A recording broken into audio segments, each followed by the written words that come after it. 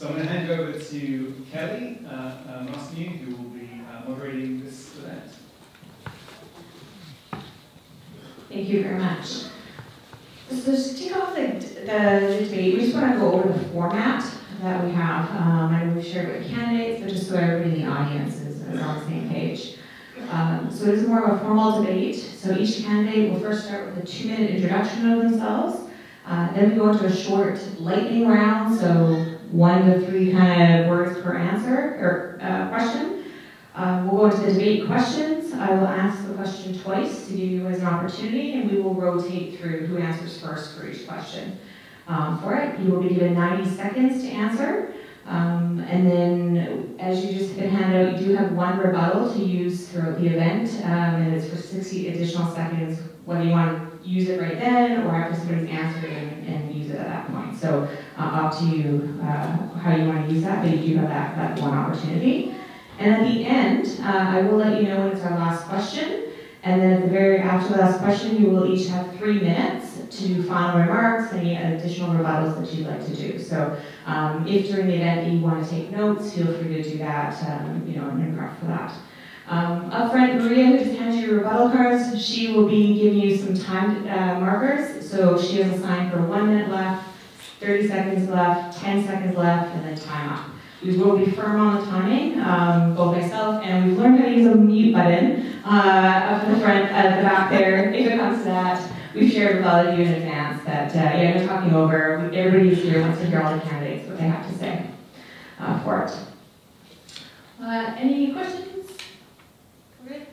Okay, perfect. So um, we will start with introductions. I'll start on my left here. Uh, and Maria, let us know when you're ready to start timing. Hi.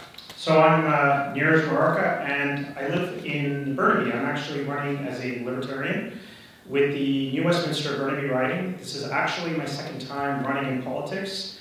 I ran in 2017 as a BC Libertarian in the Burnaby Lougheed riding. Uh, I didn't win, so I'm not currently in MLA, unfortunately. But uh, this is my second time here, and I hope to, uh, you know, get some votes, and maybe I might even have a job in Ottawa. So I'll talk a bit about myself personally, and then I'll move into a little bit about my party. So I was born in Ontario, and I've uh, basically moved all over Canada. I had the fortune to live in uh, small towns all over, so I have an appreciation of the small town life, which I think is one of the incredible experiences here in Canada. Uh, lived in Quebec for several years, je peux parler français, and ultimately I came here to British Columbia. I went to high school in Burnaby, Cariboo Hill Secondary School, and uh, went to Simon Fraser University with a degree in computer science. So with respect to the Libertarian Party, we really believe in having a fine balance between social uh, freedoms, which is what the left side talks about, and fiscal freedoms, which is the right side talks about. And the unfortunate thing with our political spectrum is we've got uh, people on the left side, whether it's the Liberals or the Greens or the NDP, that are constantly talking about spending money without any real way to explain how that's going to happen. And then you've got people on the right side that are talking about uh, fiscal freedoms, but they don't really you know, care about the person and they don't want to protect the individuality and the rights of the people. My party is here to explore real problems and find solutions that work. We believe in the how, not just the what. We're not going to talk about fixing problems without finding real solutions based on facts. So definitely look forward to talking to some of you, and uh, thanks for having me.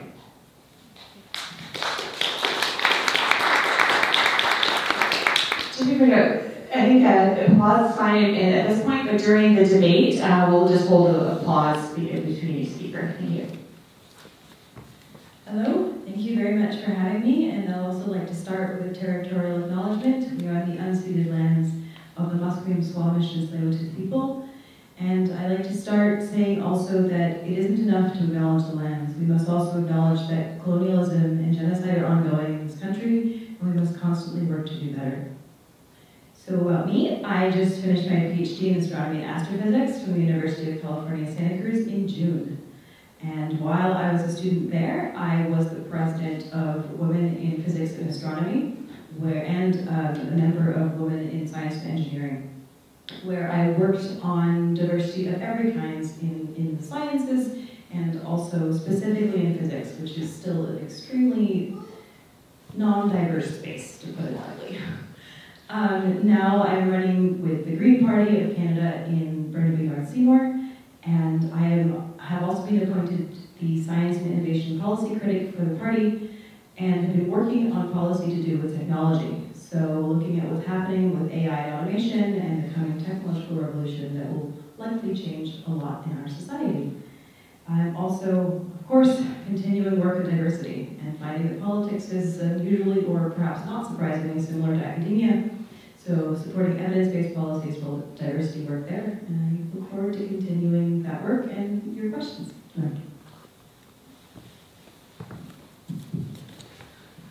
Thank you.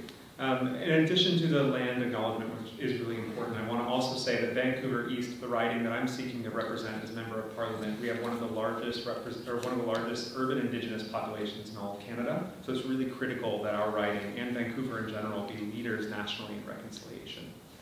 Uh, I mentioned that I'm seeking the, non, or seeking the member of parliament for Vancouver East. My name is Kyle Demes, and I'm in the Liberal Party. I have been in Vancouver East for just over 10 years. I moved to Canada to do a PhD at the University of British Columbia in marine biology, and I wasn't initially planning on staying. Uh, but I moved here and saw mountains for the first time, snow for the first time, social health care, gay equality, a lot of things that became really central in my life and have set roots here.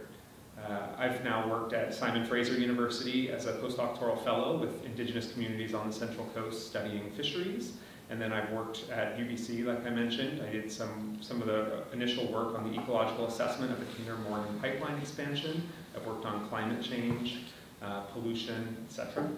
And now I've, I've sort of blossomed my career from doing my own research, which I still continue, to also doing research leadership and research strategy. So for two and a half years, I was at UBC as the senior advisor to the vice president of research, looking at how we can support collaborative research and working towards collaborative goals on big issues like climate change. I'm now the director of the large-scale grants office at Simon Fraser University, sort of doing the same thing of making sure that we are working together with large-scale industry and communities and other institutions towards these, these goals. And um, I see I'm almost out of time, so I'll finish up with the questions later on on how I've been involved with equity in research. Thank you. You guys set the bar high, I have to stand up.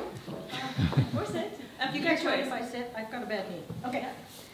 So let me begin by telling you a little bit about myself. Uh, I'm Kathleen Dixon. I'm running in Vancouver Quadra for the Conservative Party. I graduated from UBC with a degree in geology, and then I went on to do my MBA in Durham, England. I'm as comfortable as looking at rocks in the field in my rain gear as I am sitting in a boardroom. My careers included both working in mining and energy sectors, And uh, for the last 10 years, I've been an investment banker working in mergers and acquisitions. And I believe my business experience will allow me to be an effective MP for Vancouver Quadra. So in my career, I've often been the lone female, whether it's been in northern mining camps, on drill rigs, or even in boardrooms. And, and I think this must change. Over the course of my 30 years in business, though, I'm starting to see it change. Now I see many smart, motivated women, engineers, scientists, computer programmers, and investment bankers in my business who are challenging that status quo. And I feel it's my duty, but also my privilege, to help and mentor these women who, to succeed in any way I can, because they will break that glass ceiling and they will go beyond where I have. So as a single mom with two amazing kids, juggling a career and family hasn't always been easy. And I had lots of help along the way in the form of family, friends, and colleagues who would support my very hectic schedule. During these times, I've seen the positive impact of good paying jobs on families and communities, and most recently, I've seen the devastating impact on families and commu communities in losing those good paying jobs. So I stand before you as someone who's never been a politician, never thought of running for public office, but I'm here because I can no longer sit idly by and watch our country continue to lose ground because of a government that often seems more focused on defending itself. So thank you again for coming out, and I look forward to this evening. Thank you. So we're going to go to the lightning round. Um, so uh, a mix of uh, hopefully fun questions as well as some serious questions as well. Uh, so let's kick it off with, who's your favorite Canadian woman scientist? So we start with you, let's go, Irene. Donna Strickland. I have to say that because I'm a physicist. Kirsty Duncan, also Minister of Science. Dr. Kathy Hickson, volcanologist with the GSC. My mother is a scientist and did a really good job bringing me up. Nice. Do you describe yourself as a feminist? Yes. Equalitist, if that's a word. Um, I don't believe in forced inequality. Equality has to happen naturally, so I am not a feminist. By the current definition, yes. What was your first programming language that you learned? DOS. That was Q basic. Uh, since I'm a software engineer, I'm going to say basic. Scheme. R. Uh, do you consider climate change to be an emergency? No, climate change is not an emergency. Yes. Yes. No. What are you most adept at? Science, technology, engineering, or math? I'm most adept at math. Math. Science, but I'd say interdisciplinarity. Science. What mode of transportation did you use to travel for this event?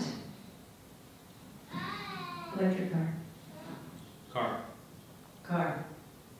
Cheap.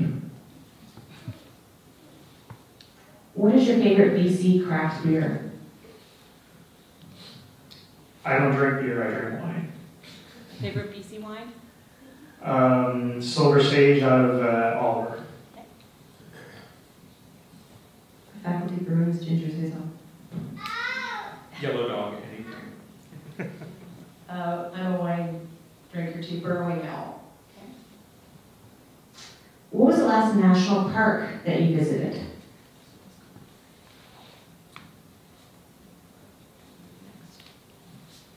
Mount Seymour. Mount Seymour. Banff. Uh, Tombstone Park in Yukon Territory. Will you protect a woman's right to choose and her body autonomy? Absolutely. 100%.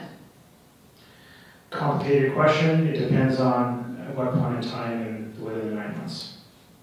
Yes. What was the last country that you visited? United States. US. South Korea. U.S. What was the last book that you read?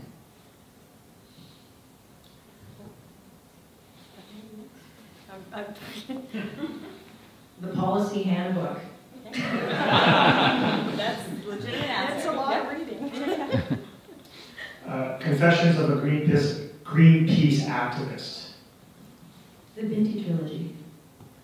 The remedy on queer health. Okay, so we're going to go into the prepared questions now. So just a reminder that, uh, so 90 seconds that you have per response.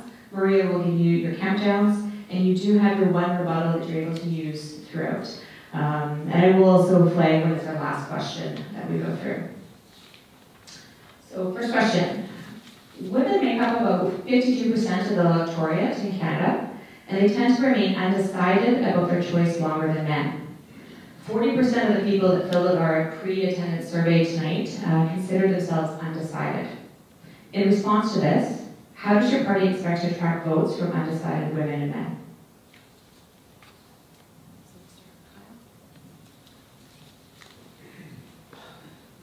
So, since we started the, the gender conversation, I will first say that um, the Liberal government has been very important on advancing that file, and seeing the cabinet parity was a really important piece for me. I work at universities, which I mentioned, and even six or seven years ago, hiring was based on fit, and fit based on what was there a long time ago is what we continue to hire. Um, when Kirsty Duncan, Minister of Science, I'm going to mention her name a lot because she's my role model here. Um, when she came in, she started talking about equity. No, this is going fast. Um, she started talking about equity, and people weren't taking that very seriously. But the second year that she was in, she started putting it as attached to um, to funding. And so the universities that were taking this seriously and that were looking at equity principles as rigorously as the rest of the academic proposal, we're now getting more funding. And all of a sudden, four years later, equity is now one of the primary decision-making criteria that we have in universities across the board. And seeing that level of change been And I want to apply that same lens to everything that we do. So to attract female voters uh, to the Conservative, what I've been finding at the doors when I've been out door knocking is uh, it really resonates with them that we um, that we get the debt under control. They're concerned about that. They're also concerned about uh, stable funding for healthcare and social services, and the Conservative platform is keeping those stable uh, and increasing those 3% uh, year on year so that you can rely on your hospitals.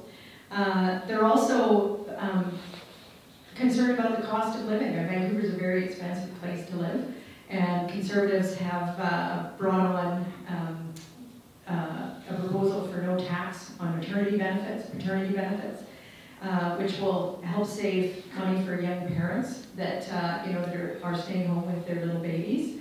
And they're also going to help out with the uh, universal tax credit. So we're attracting um, lots of, of women voters at the door just by the pragmatic approach to um, making ends meet in their home, combined with uh, quite a strong economic and uh, environmental platform that really supports green tech and getting investment back in Canada that will move forward our green platform. So my party believes in, in liberty, and while I answer the question, I'm not a feminist, I do believe in enabling so that equality can be reached. I don't think equality is something you can force upon people, but I think you've got to get, create policies so that people can at least have a fair opportunity to achieve equality, to excel wherever they want to. And I think that the problem that we've been facing in our society, and this is nothing new, this has been going on for years and years and years. Um, me personally, in my own family, I have very strong female role figures, and so um, role models. So I, I, really want to see that women can excel, and I see that even now, despite where we've gotten versus 30 or 40 years ago when my mom came here from India, there's still a disparity, whether it's in salaries or whether it's stuff that doesn't even happen in the open. So for me, my party is about enabling people, it's about changing the system, it's about going in and finding real solutions to problems. You constantly hear people talking in very vague terms about how they're going to work towards enabling women to do things, but they don't actually talk with specifics. And the reason is because they can get called out upon it four years later and say, well, you didn't do that and that and that. I'm the only person that's actually going to talk about actual specific things that I will do, my party will do, to ensure that women are empowered. And of course, they'll be, you know, considering my party for the, uh, the next election. I think there's a lot of undecided voters of all kinds of gender now, and the way I see it is it has to do with what politics has become. It's a very divisive space. It's very can be a very ugly space, and I think that no matter what the parties actually offer, there's a lack of conversation and alienation happening for everyone. So what we're trying to do is bring the conversation back to representation and having conversations about different ideas from different places and how to actually solve our problems based on evidence. And through opening up that conversation in communities, making sure that we talk to everyone equally. And also, personally, I've been trying to open up the gender equity debate to move beyond the gender binary. Because I think that we can't get to true gender equity unless we're treating all people equally, kind of in, all spheres. Thank you. Next question. Evidence helps decision makers effectively weigh complex options and make fully informed decisions that benefit all Canadians. What will you do to support the chief science officer role, including departmental science advisors? I'll repeat the question.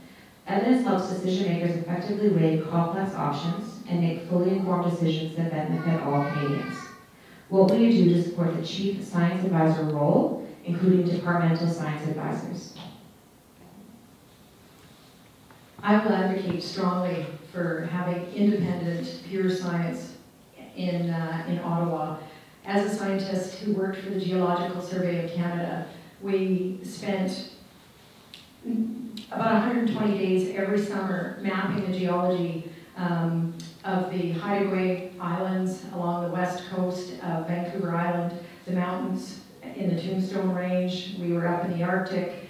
I even got to map the Whistler map sheet, which, uh, which was quite, I mean, it was a beautiful place to work. Um, and that pure science set the basis for a lot of continuing work. So the, the, um, the forestry companies would use our maps, the um, mining companies would use our maps, the marine companies would use our maps. And, and it really formed a very strong uh, basis for companies in order to get their work done. And they didn't have to do that very basic science. So, I mean, I, I realize my experience um, can be modeled in all of the other disciplines, but I think the pure science needs to be advocated for that isn't biased by uh, commercial interests. We need the, the, proper answers, and, and we don't need um, the commercial people influencing what those pure answers are from the science. Specific question about that later. So. Um,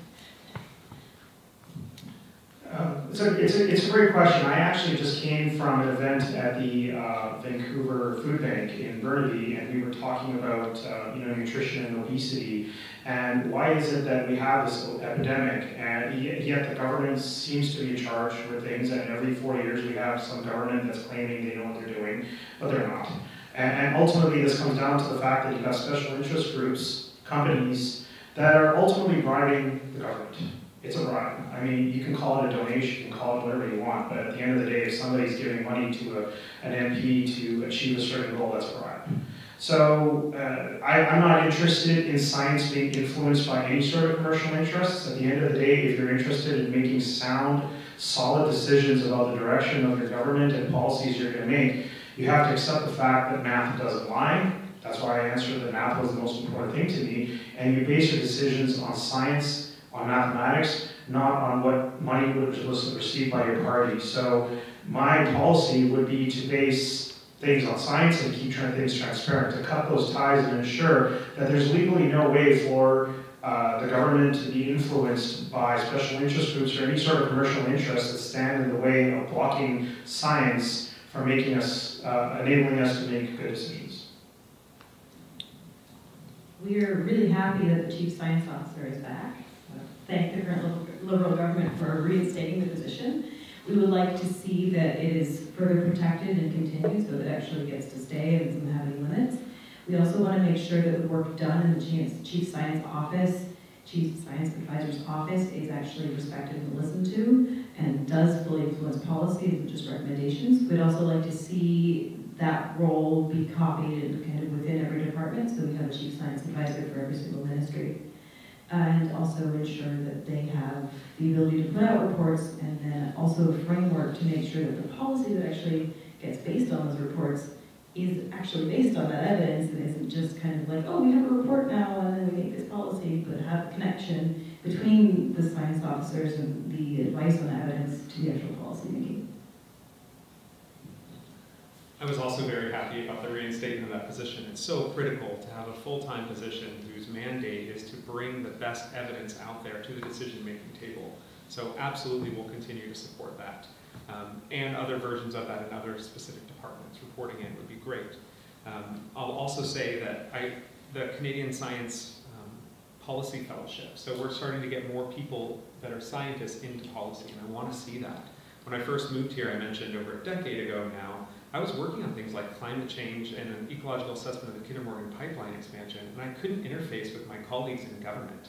Um, I would try and go to Department of Fisheries and Oceans as one of the only academics working on this, and I wasn't able to.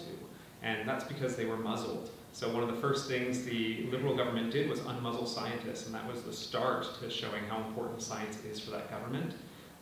And I want to make sure that we continue to build those structures, like having a science minister who is a scientist and a chief science advisor. And we're, we're pushing universities to also find new ways of collaborating with government because scientists want to collaborate. All of the issues that we're working on now require collaboration to solve them. So I'm committed to making sure we're making, that there are the structures in place to allow that, absolutely. Thank you. Investments in research are critical for maintaining our international competitiveness, training the next generation of business and scientific leaders, and continuing to build on the many benefits that past investments in research have yielded for Canadians. Do you believe that current levels of federal support for science are sufficient to meet the federal government's responsibilities? And if not, how do you propose to increase or decrease these funds over the next five years? I'll repeat the question. Investments in research are critical for maintaining our international competitiveness, training the next generation of business and scientific leaders, and continuing to build on the many benefits that past investments in research have yielded for Canadians. Do you believe that current levels of federal support for science are sufficient to meet the federal government's responsibilities? And if not, how do you propose to increase or decrease these funds over the next five years? So the question, uh, pardon me, seems a bit loaded because it's suggesting that the government actually should be the one going in and giving support to these industries, which I actually disagree with. I think that uh, in general, with some exceptions, the government is incapable of running programs efficiently, and it's actually uh, the responsibility of the government, or new government, to come in to hand that responsibility over to those industries so that they can innovate and they can work efficiently. I have worked both in government and in private industry, both in Canada and the United States, and I can tell you that as a scientist and also as a business person, it's incredibly frustrating to see the kind of inefficiencies that the governments operate with. I've always excelled working in smaller businesses where we have a huge incentive to innovate and ultimately to survive in a competitive marketplace. And I feel that if we want to be competitive, the best way to do it is not to um, have programs coming from the government that are driven by higher taxation and bureaucracy, but rather we cut the taxes, eventually eliminate the taxes, so that people uh, have a, an incentive to start businesses, uh, small businesses have an incentive to grow, they have an incentive to work harder, go that extra mile, knowing that they can keep that money and they're incentivized to compete. This is exactly what I see in countries that uh, have uh, you know less government involved, and that is the best way to increase our competitiveness.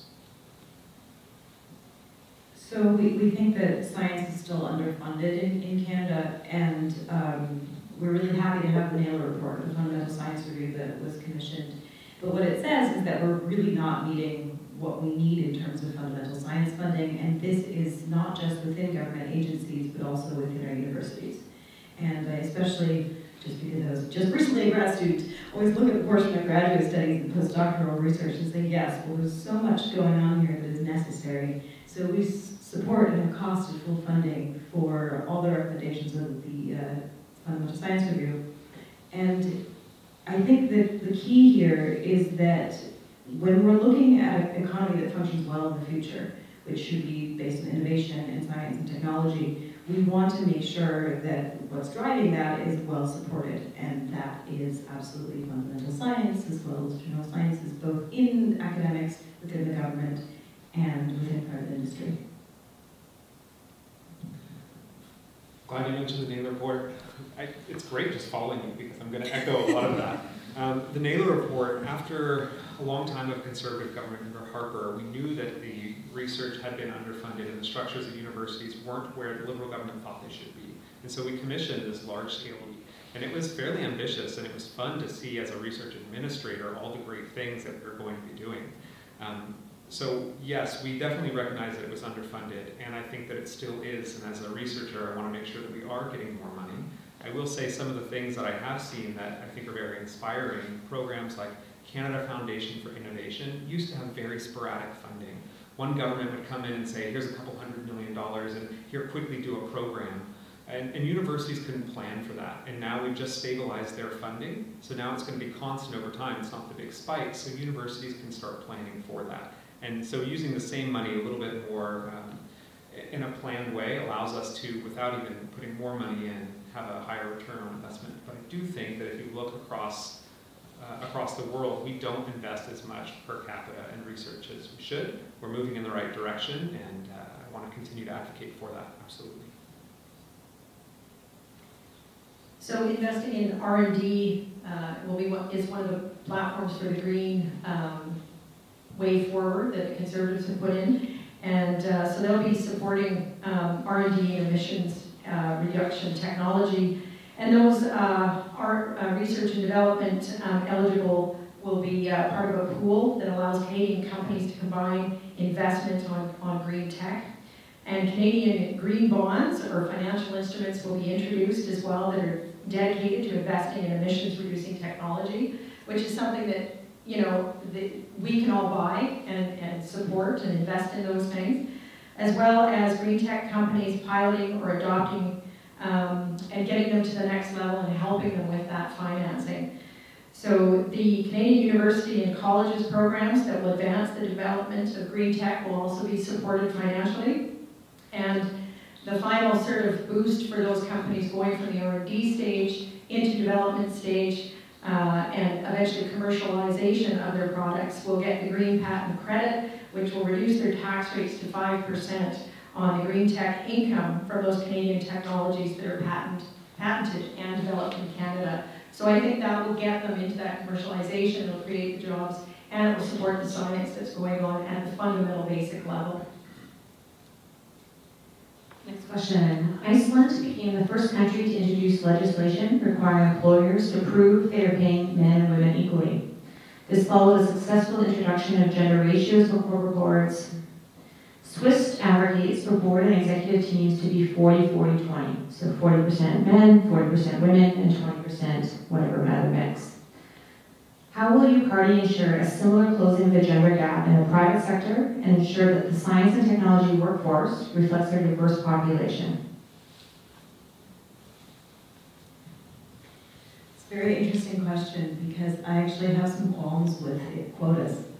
Because what, in my experience, enforcing quotas has actually sometimes resulted in putting underrepresented gender identities in positions where they're not actually in a place that's welcoming at all. So they're then not fully supported, not in a safe environment. That being said, I think in some cases it's very important to do. So when it comes to equal pay, absolutely, we need to make sure that every gender is equally paid for equal work, 100% and legislated. But when it comes to quotas for positions, I think we need to have some of them very lightly and then also make sure that we're looking at inclusivity of all the workspaces and kind of general access to programs so that when people arrive there, when they're put in those positions, regardless of their gender, they're actually welcome, comfortable, and safe. So the Liberal government has put into place an emphasis in universities on equity, diversity, and inclusion. And I mentioned it's become something that we have to in every proposal address. And now it's a differentiator of success in all proposals. So a lot of people are getting the check marks for their research excellence, but they're really differentiating in how they're doing equity. So more and more scrutiny is going into that at, at every university. And I'll say that that's been really transformative because not only are we looking at that with hiring processes and having to show evidence that our process isn't biased, which is, you know, nothing like this would have existed four years ago, and it's having real impact. But we're going to other levels and looking at Um, what's the time to promotion for male versus female and all the other equity seeking groups? And we're looking at student fellowships. And I'll give you just another example. Um, there's an organization called Mitacs, which provides student funding, which is really transformative. Um, and as we started drilling into the data, we noticed that there was a difference where there was less women interns than we thought there would be based on the enrollment data. Um, and we looked at Mitacs and we looked through their process, and their process wasn't biased, but as we started looking in the data, we were able to follow and see it was a few departments, and it was really the department chairs who were discouraging women from taking these industry positions. So it's only because we started really drilling down in the data that we're able to identify these issues and start tackling them. So gender equality, um, we certainly support equal pay for equal work, and uh, I mean, I, I, I've worked in business for long enough to recognize that uh, that has to be, otherwise all your very strong female workers are going to walk out on you. Uh, we don't believe in quotas either, and it's a merit-based economy, so individuals are recognized for their education, their experience, and their community contributions, uh, regardless of gender, ethnicity, or religion. And I, um, you know, as a, a I'm, I'm part of a Women on Boards group, and a lot of quotas have been put forward for, for women on boards, and companies have been shown to succeed and exceed expectations when they have a certain number of women that sit on the boards. And what we're finding is as more women get involved and network and, and meet the, uh, you know, the presidents and uh, chairman of these boards, they start to get in. And uh, it's a very slow process, um, and it's taking a long time, but we're starting to see the wheels rolling, especially in very traditionally mining, oil and gas, and finance companies. But we are starting to see more women get on those boards and break those glass ceilings. So, um, you know, inequality can and can be a problem in certain cases, but I don't think we can look at this so simply and think that we need to force equality because sometimes solutions to creating equality actually create all sorts of other problems. Uh, for example, my family comes from India and I've got cousins in India. They tried to get into some of these universities. Unfortunately, some of my family members happen to be in a certain class, um, economic class, where the competition to get in is high enough that they can't get in even with certain grades and someone in the lower class is getting in with much lower grades. And this is ultimately creating inefficiencies. I mean, if you're running a company, you need to choose in a competitive environment, and we were talking earlier about competitiveness, you need to choose the best candidates for the job, period. That's how you do it. And if it happens to be a man, so be it. If it happens to be a woman, so be it. The real problem then, if you're seeing inequality is systemic, where men might be tending to go and study sciences and mathematics and engineering, and women are not doing that, and that is the problem that you need to solve.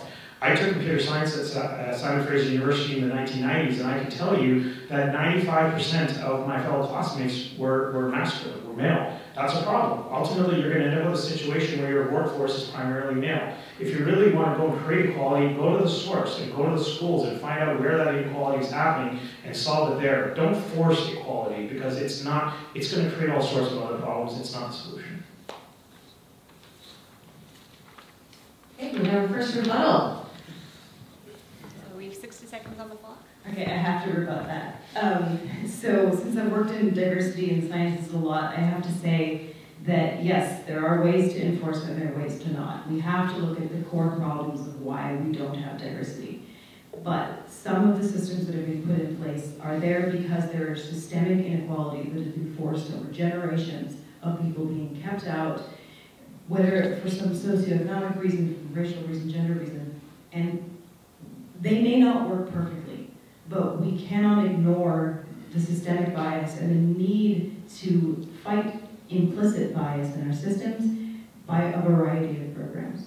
So it is complex, but to say that some systems that are put in place because Uh, of in kind of saying, well, these people should have more access, there are good reasons for a lot of those programs, and we should not just say we shouldn't do them.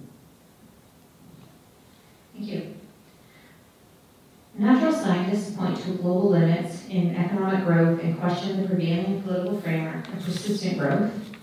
How do you reconcile expectations for growth and prosperity with the finite limits of our planet?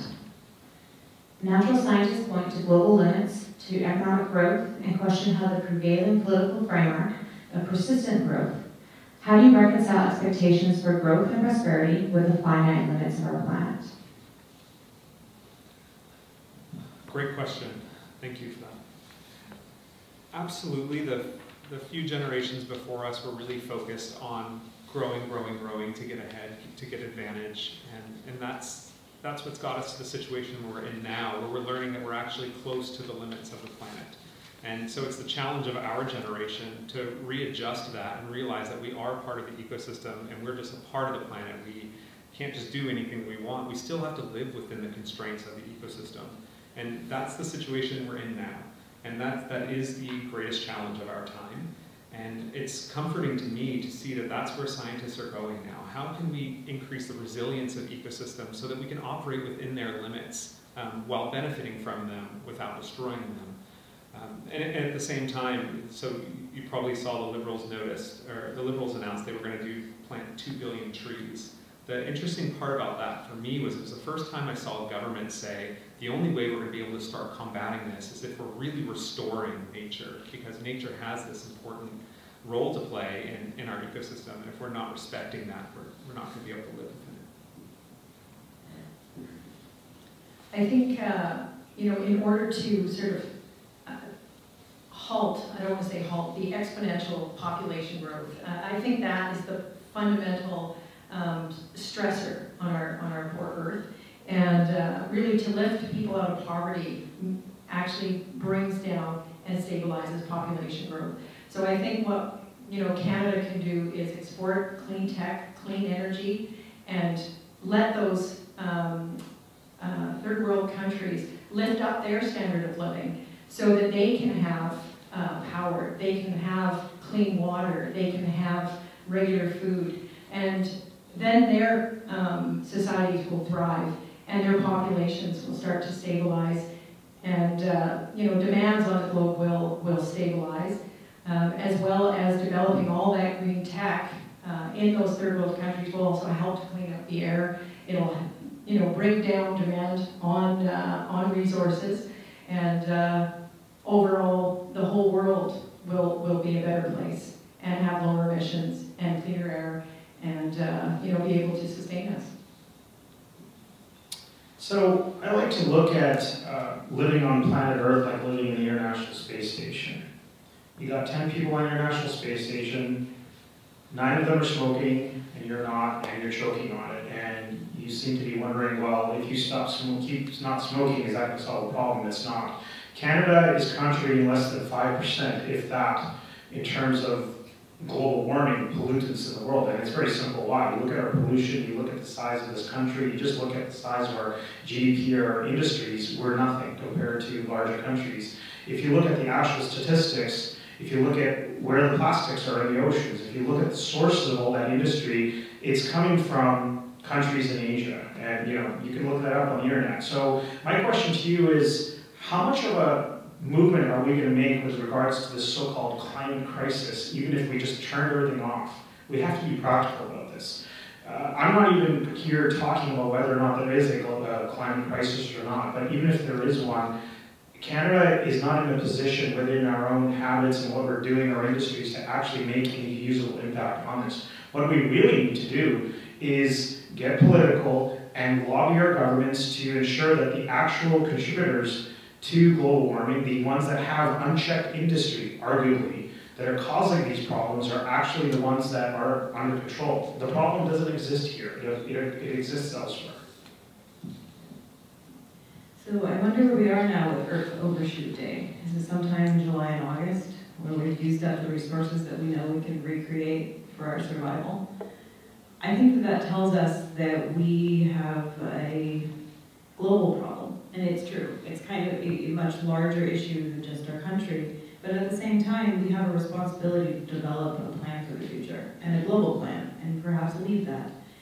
And so I think it's time to start talking about the way we have structured our economy, and the idea that we want to survive on this planet for generations to come, and that means looking at regeneration. And it doesn't mean an end of growth. I think it means an end of overconsumption, but kind of intelligent growth that, that, that grows in the ways we want, in well-being, in health, in our, in our prosperity, in the way we live our lives rather than in stuff.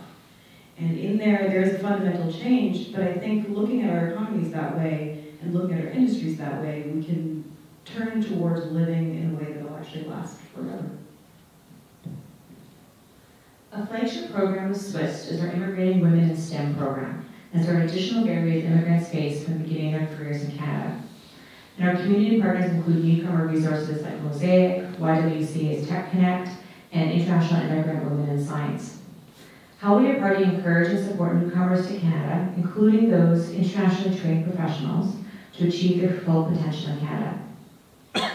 A flagship program for SCWIST is our Immigrating Women in STEM program, as there are additional barriers immigrant, uh, immigrants face when beginning their careers in Canada. And our community partners include newcomer resources like Mosaic, YWCA Tech Connect, and International Immigrant Women in Science. How will your Party encourage and support newcomers to Canada, including internationally trained professionals, to achieve their full potential within. A great question.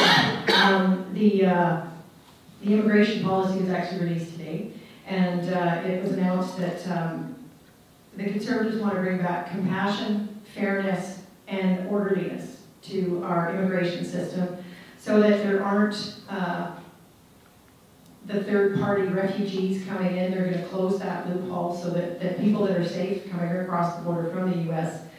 are, uh, are put into the queue. And uh, most of the, um, the refugees uh, that should be coming into Canada, should be coming from places where they are unsafe and that they are uh, in desperate need of coming to Canada.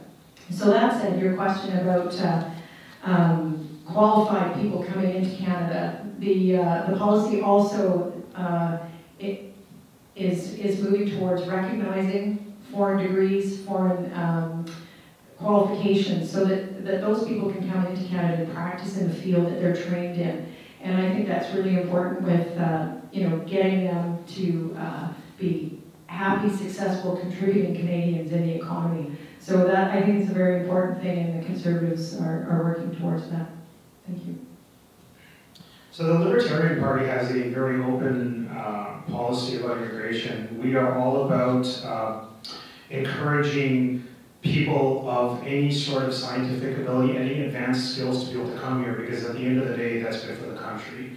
Uh, right now, we have a broken system that uh, you know is full of delays, and ultimately, people that should have the ability to come and work here immediately are not able to. I see people driving cabs. I see people doing a lot of menial jobs. Pardon my use of that terminology. When they really could be, uh, you know, contributing a lot more to the economy. So my party's position on immigration would be to fast track anyone who has any sort of advanced education and can come here so that we can actually be competitive. There are resources available, there are people that want to come here, and it's just a matter of removing the bureaucracy and enabling that to happen. Um, in, in, terms of the people here, yes, we have a lot of standards, we have a lot of bureaucracy in terms of agencies that are blocking people from getting jobs, going through all sorts of certifications. Uh, I, I, know people here who have come here from uh, other countries with degrees in medicine and they have to get recertified. They have to go through all sorts of steps. I understand that there's a certain legal process, but we can fast track this and we can actually make our immigration system and the ensuing steps to become a professional much faster. So interestingly enough, I think the solutions to this relate to some of the policy I've been working on for, for preparing for AI and automation and the automation of work. Because when we talk about jobs that are being lost, a lot of people say, well, what about the ones that are currently occupied by immigrants? And the usual answer is, well, I can't define what someone's meaningful work is to start out with, but a lot of the times because those people do not have access to the positions that they are trained for. So one of the big barriers is often language programs. So what we see for overall for job replacements, we need a guaranteed livable income, education programs, and also, therefore, language programs, job tracking, and making sure that recertification isn't overly qualified. So while people are settling, they have the support they need to go through qualification, making sure that isn't as hard as it is now, and also language programs to make sure that it's a lot easier to integrate.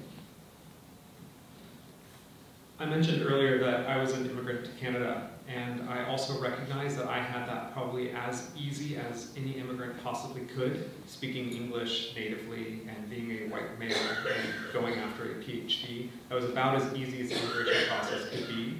Since then, I've absolutely seen barriers across the board that people have, and the Liberal government is committed to making sure that not only are we bringing immigrants in, but we are integrating them into society. So um, something I've heard several times up here is making sure that credentials in other countries are actually able to apply here. It's so critical. There are so many people who are trained and skilled that should and could be doing the work here. So we've just got to really work on that process to make that better.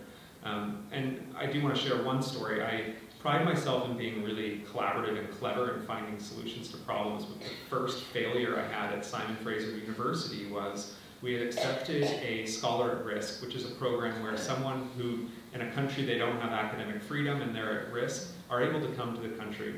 Um, and I was very happy that we did that, but she came to me and said, I'm not eligible for any of these granting programs. So great that you were able to get me here. Now I can't do any of my research. And I tried everything I could and wasn't able to find something for her other than working with other people who had established labs. So there's lots of things in universities that I'd like to also work on, um, but I, I am committed to making sure we are enabling immigrants to succeed here. High quality, affordable childcare is known to support more women returning to the workplace and taking on more senior and higher paying technical and leadership roles. How is your party planning to improve access to childcare in the next five years? So high quality, affordable childcare is known to support more women in returning to the workplace and taking on more senior and higher paying technical and leadership roles. How is your party planning to improve access to childcare in the next five years?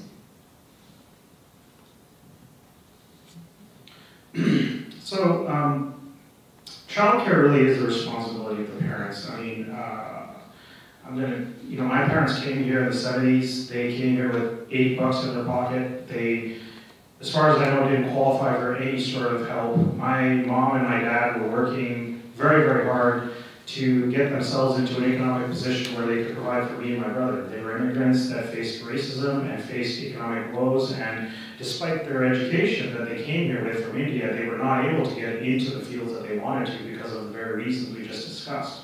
So, you know, I think that ultimately this comes down to responsibility, and this is something that my party absolutely stands by, and it's the pride of taking responsibility. If you have kids, it's your responsibility to ensure, as, as, a, as a couple, whether it's uh, you know a man and a woman or two men or two women, to ensure that you have the economic ability to take care of your children as you're expected to by society. I don't think it is the responsibility of the, uh, the government to step in here and ensure that you can take care of your children. This is not really about uh, a woman or a man's rights. It's really about if you have children, you decide to adopt or have children, you have accepted the responsibility of taking care of them in whatever situation your life leads towards.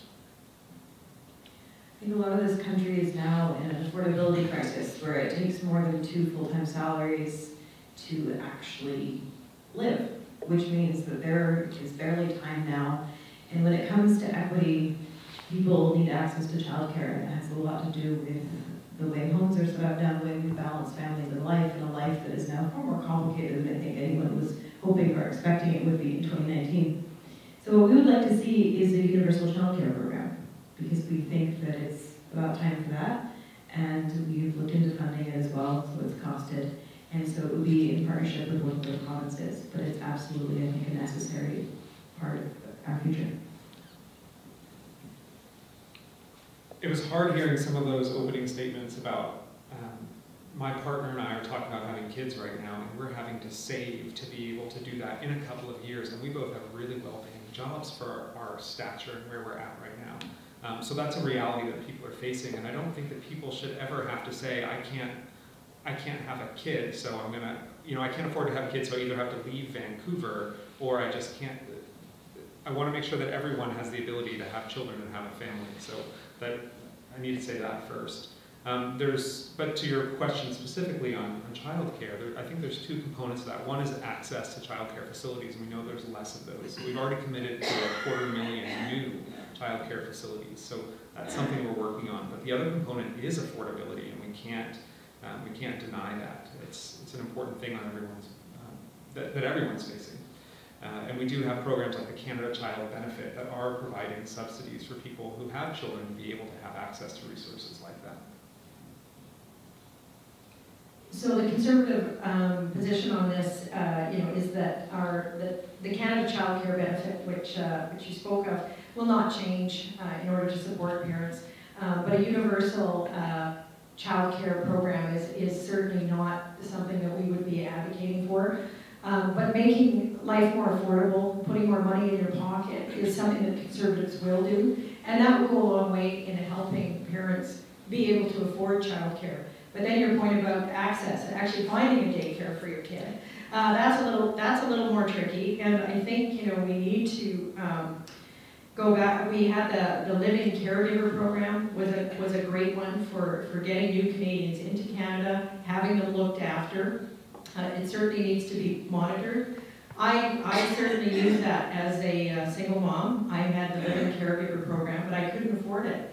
So I had a couple of girlfriends and, uh, we, us with our new babies, sort of, uh, we collaborated and we had uh, a caregiver pro, you know, program in, in our house.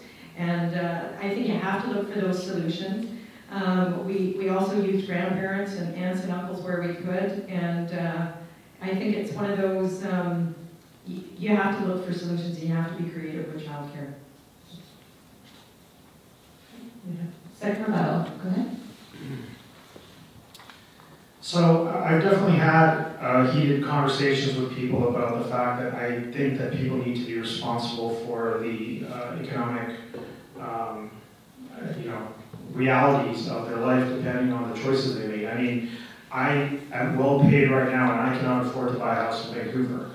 Uh, I've heard stories in the news about people that are facing all sorts of ridiculous premiums on ICBC. Uh, the fact of the matter is living in Vancouver is incredibly expensive, and this is not a problem that you're seeing happening on the streets of East Hastings. It's happening in the middle and even upper middle class families. This is a problem that we're facing, and the solution to this is not a slippery slope where you start asking the government and society to start taking care of my car payments, my house payments. I ultimately, if I cannot afford to live here, I have to make some decisions, and it sounds harsh, but we have to solve the problem. If there's a housing cost issue, we solve it the right way. If I could use my rebuttal as well, I don't know if I can Yeah, rebut or rebut. topic, go ahead. Um, yeah, well, because it, it resonates with me and probably most people in Vancouver that, yes, I, I agree, there's a fundamental structural issue that we have to be addressing, but it can't be at the expense of people's lives right now.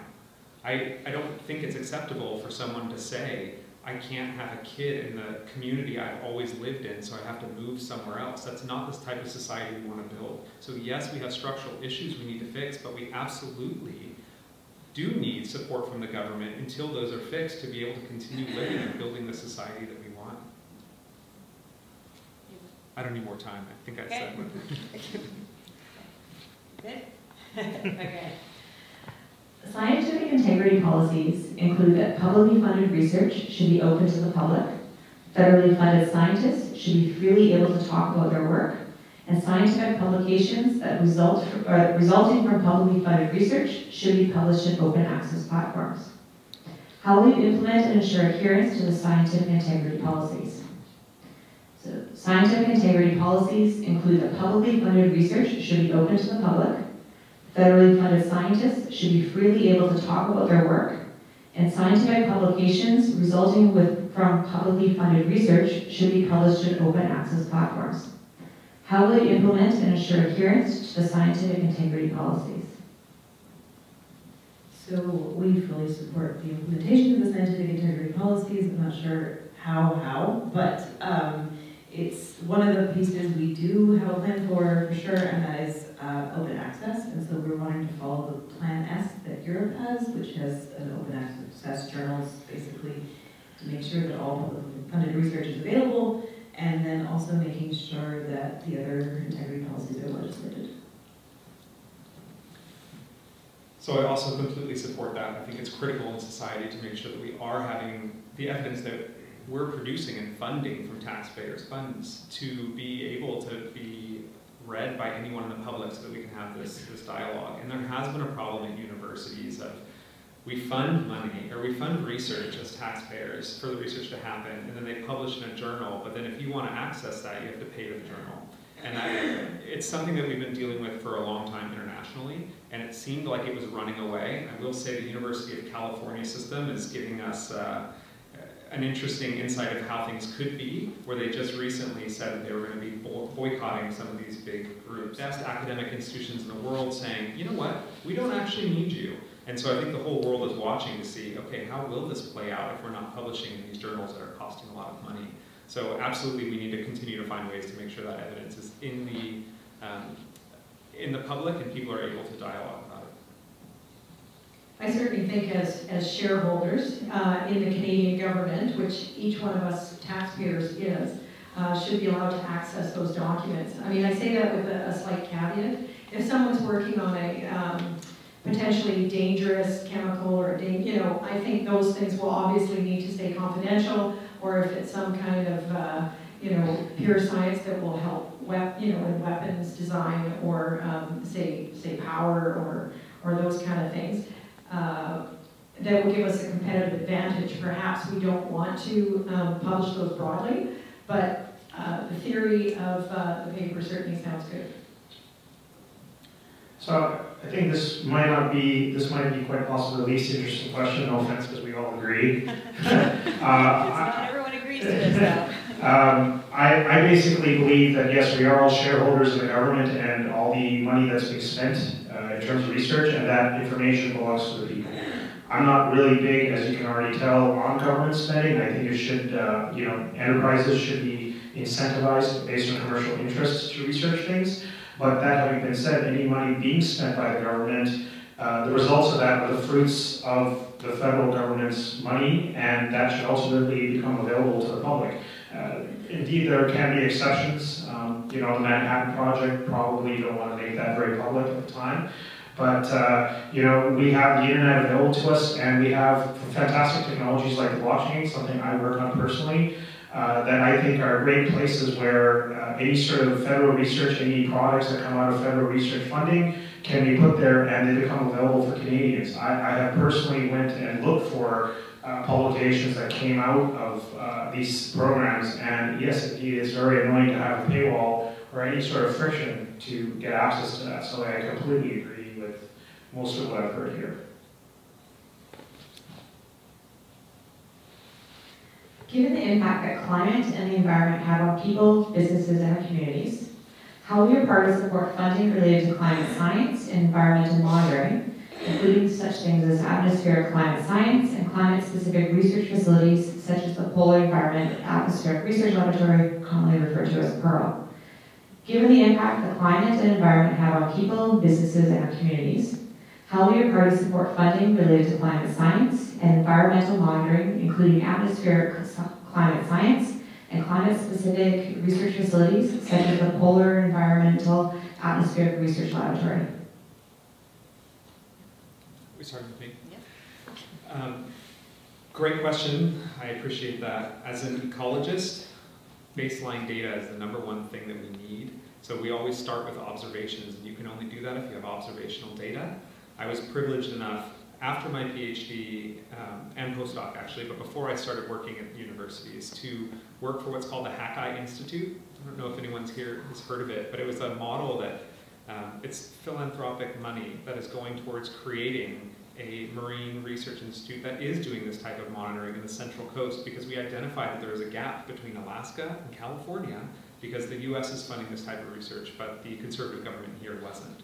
So now the Liberal government has started putting more money into doing things like this, but we have some really creative models in British Columbia alone. And the Ocean Protection Plan, which is a $1.5 billion investment from our government, one of the pillars in that is collecting baseline data.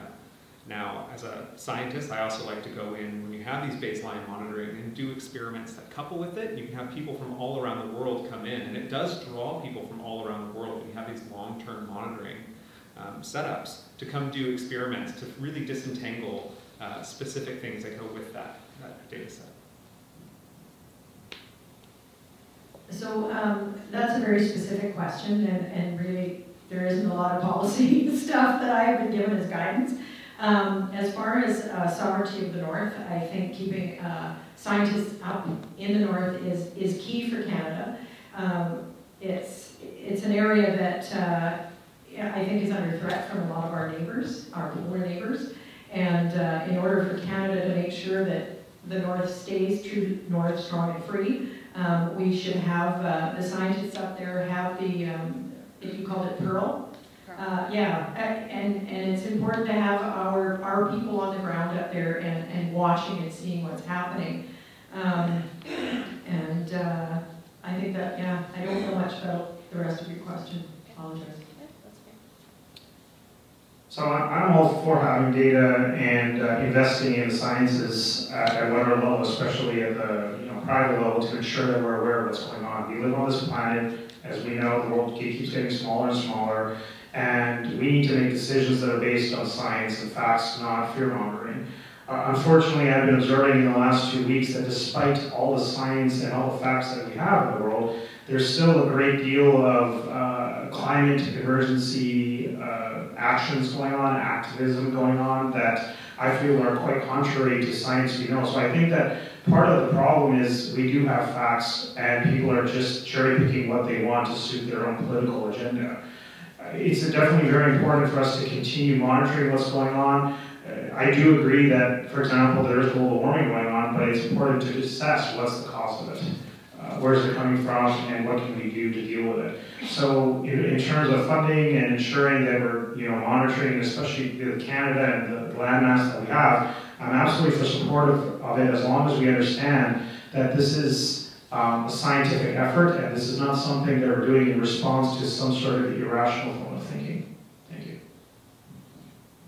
We've been very concerned that uh, funding has not been fully restored for Pearl or continued for Pearl, and also a lot of our climate science. So um, I think I got sent this recommendation from Evidence for Democracy, and I submitted it to my party and said, you really have to fund this? And they're like, yeah, okay, so it's in our platform that we fully are funding it. I was wondering how it turned out to be super easy. I'm like, wait, that's, that's how that worked. I just advised you on the policy, and you're like, yeah, cool, I believe you. That's good. Um, I do want to address, though, the idea of climate emergency. And, you know, it's true that here, although data shows that we're um, warming twice as fast as other parts of the world, it might not feel like we're in an emergency. But I think in that, we're forgetting the people that are already experiencing an emergency across the global south, the people who are dealing with overwhelming droughts never experienced before, flooding, sea level rise. So I have personal experiences in extreme weather. It may not have been climate driven, but my house was lost, my mother was lost in a mudslide. So it doesn't really matter to me why this is happening. We think, we, we, we believe the climate scientist consensus, but the truth is there's on the ground effects that we need to be prepared for, and gathering the data and preparing for those should not be partisan or considered scientific or unscientific.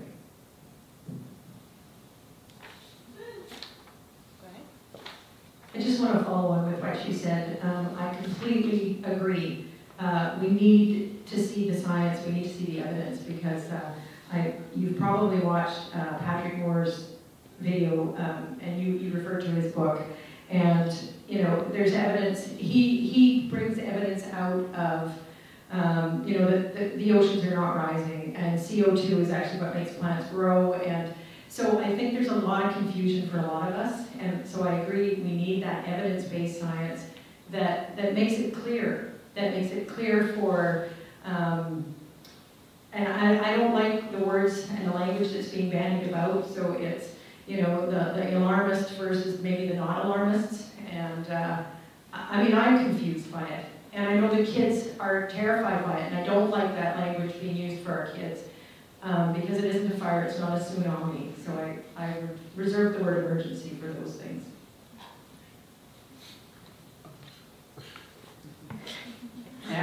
Yeah, well, this maybe will give you one, right? Uh, you agree some topics. Some are easy, you guys all agree, and then others, not enough, some divergent opinions there. Okay, uh, in the last federal election, women made up 26% of the MPs elected and made up 50% of the current cabinet ministers. For this current year's election, how will your party ensure that there is equal representation of women in government?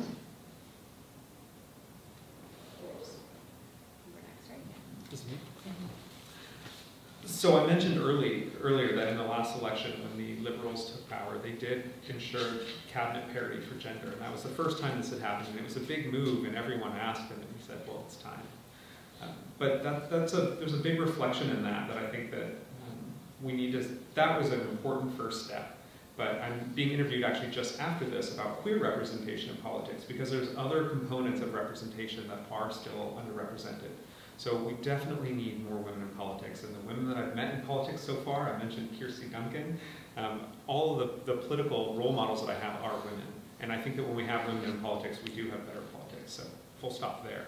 Um, but we also need to move the gender conversation beyond that. I don't know of any openly trans people running for office. Maybe they're there, but I don't know of any because there's not profile.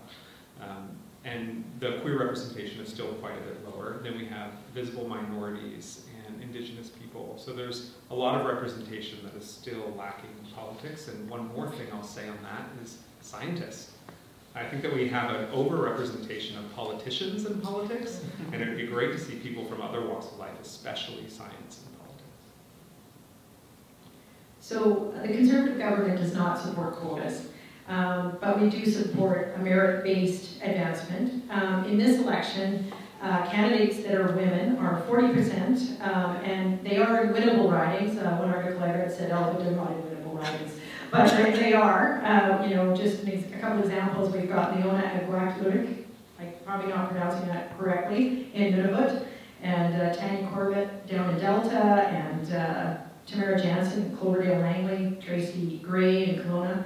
Um, and these are very highly qualified women running with strong track records. Um, the Women on Boards group as well, you know, we're advancing the women forward uh, there, and they're advocating. So I got a lot of support when I ran from women on boards, you know, to step forward out of private practice as a scientist, because I agree with you, um, and someone that wasn't a professional politician. And uh, so I think um, when, when uh, the government is formed after the 21st, it will be a merit-based, but there are enough strong women running that it will have that, that balance that people are looking for. So I, I think there's a pretty large disparity between the male to female ratio in, in politics. Uh, I, you know, I go to a lot of events and I see that, and it's quite obvious. And um, while I don't think you can force it to become equal, you can do things to encourage it to become equal by natural means.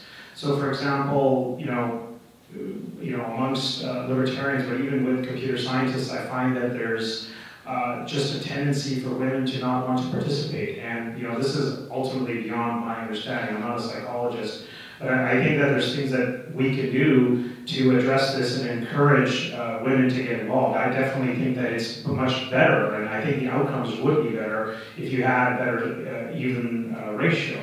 You know, the fact is we have approximately 50% women and 50% men in this country, and it's important that they be able to uh, be equally represented so they can make decisions that help the collective whole. That's just a rational form of thinking I have. I'm just against any sort of overt action where you prefer uh, someone of a certain gender or another. It leads to all sorts of things. It's a slippery slope, including uh, reverse discrimination, and it's not based on merit.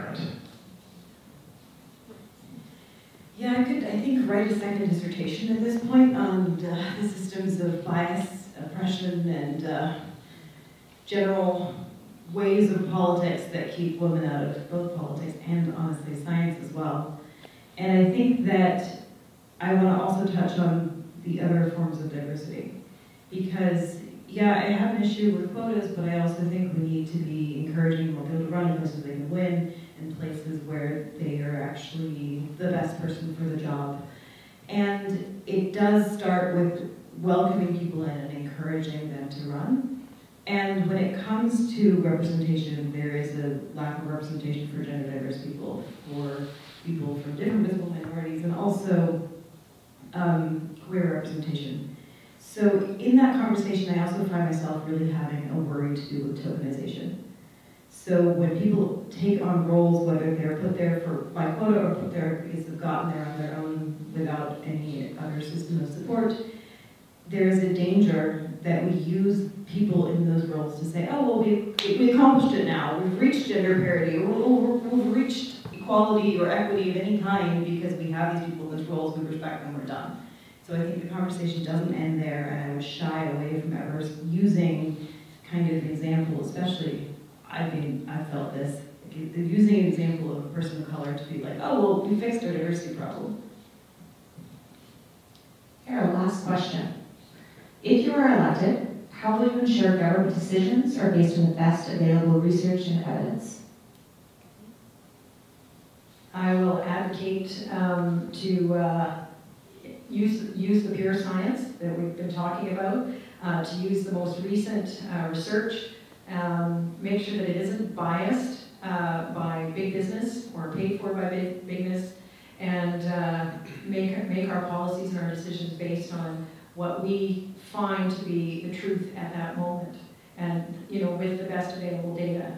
And uh, I think that's how we can go forward, but also be cognizant that, that these things change, and as we learn more, uh, you know, decisions can change. So with, build in some flexibility with that. You know, as we learn more, as the science improves, or as our understanding improves, we can nudge the tiller, as you will, um, in order to, to make those the, the best decision for, for Canada as we move forward. I think there needs to be a balance in terms of pragmatism, business sense, and science when it comes to leaders in the country. You know, it's easy to say that you just want scientists to run everything, and that would be my, you know, most polarized answer to this. But the fact is that you need to have people that also have some business sense and practicality. And this is what my government would do if we were elected. Is elected is that we would start with putting people at the top that are making their decisions based on science, mathematics, economic realities, and they're not influenced by any sort of companies or lobbies. But then you have to also start looking at secondary things such as their own experience running a business. Whether they failed or succeeded, they got to know what works, what doesn't work, and then they also have to be practical. They just have to look at what can happen now versus what can happen years down the road. My party believes in the elimination of taxes, for example, but we also know it's not going to happen overnight. if we came in, we would have to do it in a phased approach, and that's where you come in with the practicality. So really, it's really important that we start putting leaders in that are scientists. And I think I can say that in this room, that I have a huge bias towards having other academics, people that know what's going on and really understand it. They know the how. They're not going to go and talk about doing things without knowing exactly how they're going to do it based on sound principles. This is something that me and my party completely stand by. Yeah, I think the answer to this is has multiple parts, and one is that we definitely need more scientists in government overall, every single party, and that will just increase the number of people investigating and going through policy with a science-based and evidence-based lens. And the other key part is the science advisors, because I think that we're, we're never going to have all scientists in government, nor would that be representative. So we need to make sure that every department has access to evidence, and then we create a culture within government where we actually look at that evidence and follow it.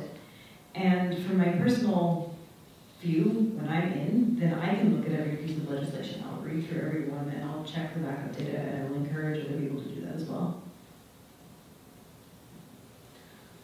So, high level, the Liberal Party is committed to this, and we will continue to have the chief science advisor position. We will continue to strive for building those structures that allow for evidence to get to the decision-making table. But since the question was if I was going to be elected, can focus a little more specifically on what I would do. Um, my riding, Vancouver East, is in between UBC and Simon Fraser University, which are two of the best universities in Canada, and I've been fortunate enough to go back and forth between the two over my career and represented the grants office. So I have a large network there because people are always looking for money.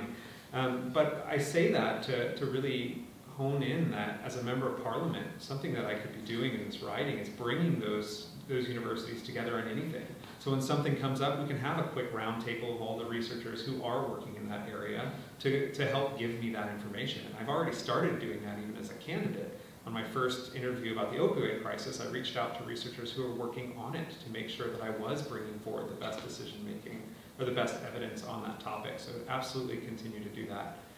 Would also, on the other side, start working with scientists, my colleagues, um, to understand a little bit more about how the political system works and not try and just publish papers and assume that we're going to take it all up and everything's going to be fine, but to understand the political nuances and do research that is informed by government priorities and what's important to Canada as well. So I push from both sides, locally and federally. So we'll do uh, now closing remarks and final rebuttals. Each will actually get three minutes uh, to do that wrap up. And you can sit or stand, your choice. Uh, I'll stand for this. So, um, yeah, you know, this has been a, actually a very interesting uh, event because most of the events I go to, I don't get to have um, some pretty esteemed academics sitting next to me. Um, I only have a bachelor's degree in computer science, so definitely the challenge is here, and I, I did not see this in other events, so it's very, very interesting. Uh, definitely, I want to talk more about my party. You know, I do think that the there is a task for government, and it's really about enabling people. It's about giving them the opportunity to get what they deserve. It's giving them the opportunity to work hard and have a chance at success. It's not about guaranteeing equality. I don't think that equality is something you can just get automatically. It's something that has to be earned, and the government's job is to prevent it, is to ensure that people can, do, can achieve that.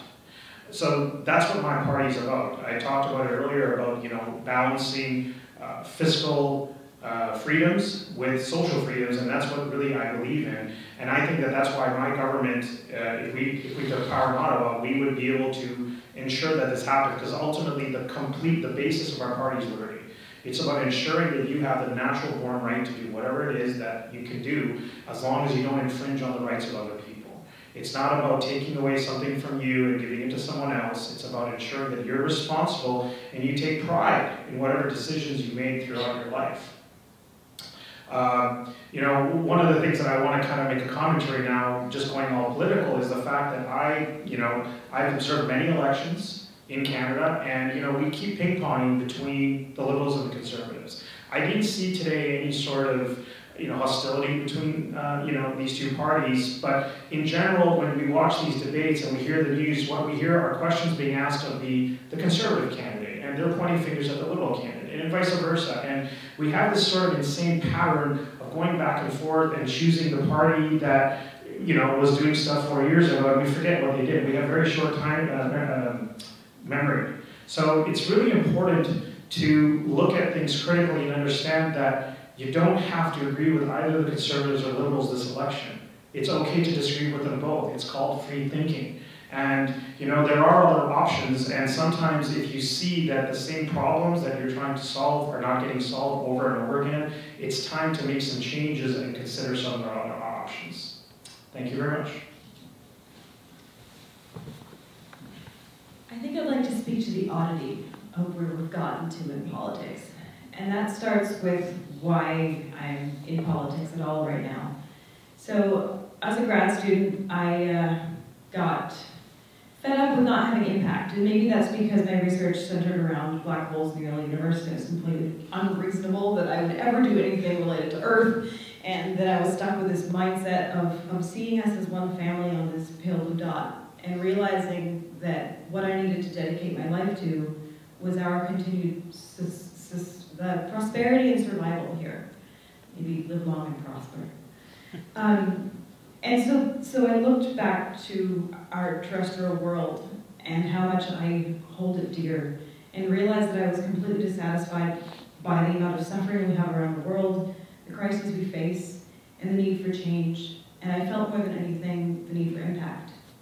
And I thought, oh, well, politics is the last thing I want to do, and then maybe there was an election in the US and they elected an orange monster, and I realized that maybe stuff was a little more urgent than I thought, and so I decided I would come home and start from where I knew I could start. And so here I am, trying to become an MP, so that we can start having that change. And I think that we're not as divided as the US is, but what we have here is still a political system of a pendulum that has not worked. And everybody has good ideas, and I think we need to come together to be willing to co cooperate, collaborate, and have a conversation about our collective future. And also, I've realized that I came to this with the lens of diversity and intersectionality and inclusion. And I was, I'll be honest, disappointed to find how necessary that was. So I found that my role in government is to both talk about evidence-based policy and science, collaboration and cooperation, the stuff that scientists know how to do, but also bring a lens of intersectionality to every single conversation of policy, to look at every piece of legislation from many different lenses, and to then work with colleagues, stop wanting to get credit for anything and say, let's build a future. Let's build a world, a country where we can grow and thrive together and maybe start to dream big again. I'm going to stay seated for this one. Um, in closing remarks, I, it really resonates hearing a lot of scientists have this same drive to want to change the world, to want to help, to want to collaborate to fix some of these challenges we're facing and, and have an impact. And I similarly struggled. Our system is set up in science and in graduate school to not really focus on impact. You're working on publications so that you can get a job, and those publications are going to be cited by people, but you're not putting the time in that you need to do to actually have impact, which is collaborating with which is building relationships with communities, because that's where the impactful work comes. But our reward system is, is structured right now in a way that keeps us from doing that. Um, and then this is going to be my last pivot into Kirsty Duncan, and I promise you won't hear me say it again. Uh, but seeing her come in as a scientist into politics and actually change the structure of universities. So her, her point was to make them more inclusive because the ivory tower has not been always an inclusive place. But she was able, with understanding of the structures, to create the right carrots and sticks to put us on that trajectory. And that's absolutely what I want to continue to do, not just with equity, diversity, and inclusion, but with impact now and collaborations. Uh, tenure promotion committees aren't actually evaluating that type of work, and so academics aren't doing that. It's exactly the kind of structural change we need. If people get rewarded for having impact and for working with communities, they're going to do it. They're going to do a really good job. Um, academics are really good at that. Whatever the system is, they'll do a great job of doing it. So I want to continue to do that, and I want to continue to build structures that allow for collaboration with scientists. We only have solutions to the big challenges when we're collaborating, and if we aren't rewarding people and even enabling them to collaborate, they're not going to do it. So I want to continue to build these structures in universities that have us collaborate across sectors and with communities um, for the good of the earth. It seems like a good statement to stop on. Well, I, I've, I've loved all your closing statements, and I think we should probably have a science party. Yeah. You know, where, uh, you know, reasonable, reasonable thought processes and, and uh, policies are brought forward uh, that are based on, on evidence. Um, I, I, I want to speak just a little bit more about um, the diversity and the inclusion. Companies work best when you have uh, people from all walks and all races and all genders working together. And when I was in the field, uh, in, in field camps that were all men, it was not, uh, obviously it was not a very diverse environment, and those camps were very dysfunctional. And it was interesting, um, you know, you had 20 guys living together, and as soon as there were three or four women brought in, everybody behaved themselves, everybody was respectful, people were uh, much more, um, re yeah, respectful and, and human uh, with each other. And I, I, think that politics is the same. I think the more women we get in there, um, we need to support them. We need the media to lay off the women. We need the media not to ask questions like, oh, how many children do you have? Oh, what's that you're wearing? Oh, what have you done with your hair? That has to stop. We need to be treated just like, the, they would never ask a guy these questions, so why on earth would they ask a woman? So I think the media has to lay off the women, and uh, I also find I don't have as thick skin as I would pretend to. and I find that social media comments that, uh, that some of the trolls make are, are difficult. So, you know, in order to encourage women to come out, step forward, whether their background is science, whether it's technology, whether it's engineering, or, or even investment banking, um, we need to make it a safe, supportive space, and we will get the top-notch women stepping forward into politics or, or men or queer or it doesn't matter, but it needs to be a space where people are respected. Um, and I think that's why a lot of really talented people don't step forward. So um, the Conservative Party is, is pushing um, definitely uh, inclusive uh, platform and uh, I'm here to sort of say that, that I'm part of that and uh, I will fully advocate for that moving forward as an MP. Thank you very much. Um, on the note about a science party, we like to think SCWIST and, our member party, our member organizations that we, we have community partners. Some of our events definitely are like a party, um, as well as bringing in different people, bringing different ideas, being diverse. Uh, and I would also say about having that evidence, that research. So SCWIST, uh, starting a provincial election a few years ago, we started to these political debates. This year we have four cities across Canada. Victoria was last night, Ottawa's next week, um, and then Montreal was uh, the previous week. So this is part of uh, bringing it out to more and more people. There will be, I know there was some tweeting, we're going to be looking at a video, potentially going to be posting that online um, once it gets approved through the different candidates. So there's there's more to come. Uh, if you nobody know anybody who lives in Ottawa, we'd love uh, to invite them out there. It's Wednesday next week. And I will hand over now to our MC, who I know has a few closing remarks. Thanks. Um, yeah, thanks everybody. Really just to thank our uh, great candidates. I found that extremely interesting uh, as a uh, science adjacent uh, medical officer. And first time voter, I found it genuinely interesting. I thought the questions were great, uh, which were submitted uh, through SCWIST. So thanks to everybody that submitted questions if you're, if you're here. Um, I thought it was very informative, so I hope you will uh, find it equally uh, enjoyable as I did. Um, we're not doing a Q&A, but I think if uh, there's time uh, for people to interact, maybe afterwards informally, uh, any, any follow-up questions, uh, get in line behind me. and um, yeah, thanks very much, and thanks to Kelly Martineau for moderating, President of SCWIST, and also to Maria for timekeeping. So thanks very much.